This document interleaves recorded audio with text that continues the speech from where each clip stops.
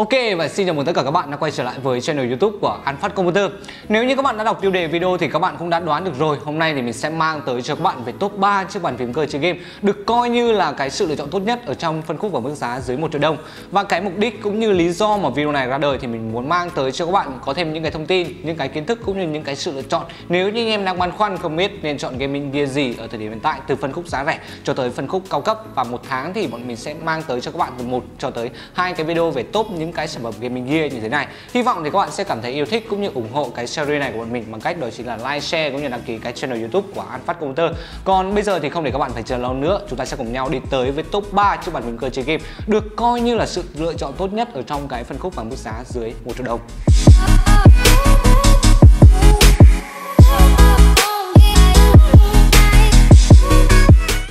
Nếu như mà nói về những chiếc bàn phím cơ chơi game ngon bổ rẻ thì Fulen có lẽ là một trong những cái nhà sản xuất mà anh em sẽ không nên bỏ qua. Và đại diện có mặt đầu tiên ở trong cái top 3 chiếc bàn phím cơ chơi game tốt nhất ở trong phân khúc của mức giá dưới 1 triệu đồng ngày hôm nay đó chính là chiếc bàn phím cơ Fulen M87S phiên bản RGB năm 2019. Với cái sự thành công của phiên bản Fulen M87S trước đó thì đối với phiên bản năm nay nó vẫn giữ nguyên được những cái độ tin cậy của người dùng, đặc biệt là cái khả năng trải nghiệm ở trên một mẫu bàn phím cực kỳ đình đám như thế này. Với kích thước khá là nhỏ gọn của một chiếc bàn phím TKL, nó sẽ hướng tới đối với những bạn có cái góc làm việc chơi game không quá là lớn và đặc biệt đó chính là ở trên M87S nó còn được trang bị LED RGB 16,8 triệu màu. Đi kèm với đó rất là nhiều những cái hiệu ứng đẹp khác nhau. Các bạn hoàn toàn có thể thay đổi bằng cái việc khi mà chúng ta nhấn tổ hợp phím FN với hàng phím từ 1 cho tới 9 để anh em có thể thay đổi những cái hiệu ứng LED đó. Đặc biệt thì ở trên con bàn phím này nó được trang bị Blue Switch của Longwood với cái tuổi thọ lên tới 50 triệu lần nhấn. Và với Blue Switch nó gần như là một trong những cái sự lựa chọn không thể nào tốt hơn nếu như bạn là một trong những người mới chuyển từ bàn phím cao su sang bàn phím cơ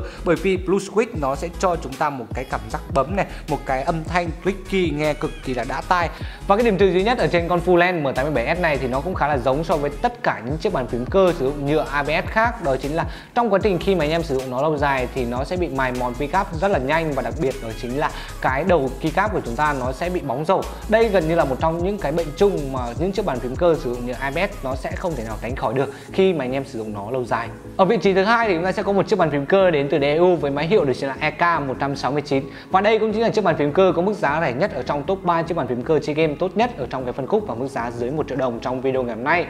Đối với con EK169 thì mặc dù nó là một chiếc bàn phím cơ có mức giá rẻ nhất ở trong top 3 chiếc bàn phím mình giới thiệu đến cho anh em ở trong cái video này. Tuy nhiên không vì thế mà cái khả năng trải nghiệm đặc biệt là cái cảm giác bấm của nó thua thiệt so với hai chiếc bàn phím bấm kia. Đặc biệt đó chính là về cái khả năng lựa chọn switch thì chúng ta sẽ có rất là nhiều như là brown switch này, blue switch, red switch vân vân và vân vân. Về phần thiết kế của con EK169 thì nó sẽ được hoàn thiện bằng chất liệu nhựa với kích thước full size và tổng thể của nó thì được thiết kế khá là tỉ mỉ và chắc chắn. Đặc biệt, đó chính là về phần phông chữ của nó được bố trí khá là gọn gàng và đẹp mắt. Cái điểm trừ ở trên con EK160 đầu tiên nó cũng đến từ cái phần LED, mặc dù nó có khá là nhiều những cái hiệu ứng LED khác nhau. Tuy nhiên thì cái LED ở đây nó chỉ là LED RGB ở dạng rainbow mà thôi. Và điểm trừ thứ hai ở trên chiếc bàn phím cơ này, đó chính là về cái phần dây kết nối của nó thì nó sẽ chỉ được hoàn thiện bằng chất liệu ờ, cao su chứ không phải là chất liệu vải dù như ở trên con Fullen M87S hay là chiếc bàn phím cơ thứ ba mình muốn giới thiệu đến cho anh em ở trong cái video ngày hôm nay. Với chất liệu bằng cao su thì nó sẽ không thể nào đáp ứng tốt cho chúng ta cái độ bền bằng so với chất liệu bằng vải dù được. Đặc biệt là đối với những ai thường xuyên mang vác sử dụng nó ra bên ngoài để chơi game cũng như là để làm việc Chiếc bàn phím cơ cuối cùng mình mang tới cho các bạn ở trong video ngày hôm nay đó chính là chiếc bàn phím cơ IRA EK307 Plus Optical với mức giá là 799.000 đồng với con EK307 thì cái điều là mình ấn tượng nhất không phải đó chính là về cái phần layout phím của nó được thiết kế với dạng full size hay là cái phần kê tay của nó, mà cái điều làm mình ấn tượng nhất đó chính là về những cái thông số phần cứng ở bên trong. Ví dụ như nó được trang bị cái switch quang cơ với tuổi thọ lên tới tận đó chính là 80 triệu lần nhấn. Và ngoài ra thì nó còn được tích hợp thêm cái khả năng chống nước nữa. Vậy nên nếu như anh em sở hữu con EK307 này thì khi mà anh em mua về, lỡ may mà chúng ta đổ nước vào thì các bạn hoàn toàn yên tâm bởi vì nó được trang bị cái khả năng chống nước. Về cái điểm trừ duy nhất ở trên chiếc EK307 Plus optical đó chính là về cái phần chất liệu keycap của nó, được hoàn thiện chưa tốt bằng so với con M87S và con EK169 Tuy nhiên, nếu như để so sánh về cảm giác bấm so với những chiếc bàn phím cơ khác đang có mặt trên thị trường, thì nó vẫn tốt hơn rất là nhiều. Và bây giờ thì mình sẽ demo thử cho các bạn nghe cái âm thanh Blue Switch ở trên chiếc bàn phím này, cũng như là ở trên hai chiếc bàn phím cơ kia.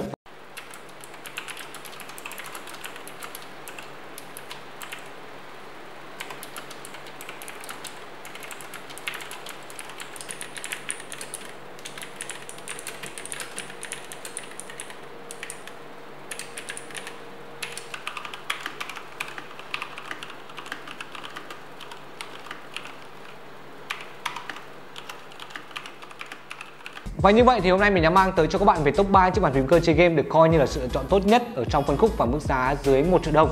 Và ở trên ba chiếc bàn phím cơ này thì nó đều có những cái ưu và những điểm khác nhau. Có những cái thì cho chúng ta một cái hiệu ứng ánh sáng cũng như led đẹp này, có những cái thì cho chúng ta cái cảm giác gõ bấm tốt và có những cái thì nó lại cho chúng ta một cái độ bền cực kỳ là nhất định. Nhưng mà kèm với đó thì nó cũng có những cái nhược điểm khác nhau. Nếu như mà chúng ta chấp nhận được những cái nhược điểm đó thì đây sẽ gần như là một trong những cái sự lựa chọn tốt nhất mà anh em có thể tìm được ngay ở cái thời điểm hiện tại. Và video của mình đến đây là kết thúc rồi. Các bạn xem video cảm thấy hữu ích đừng quên ấn like, share video này và nhớ ấn vào nút đăng ký để theo dõi các video mới nhất của chúng mình tại channel YouTube của An Phát Commenter. Còn bây giờ thì xin chào và hẹn gặp lại anh em ở trong các video kế tiếp.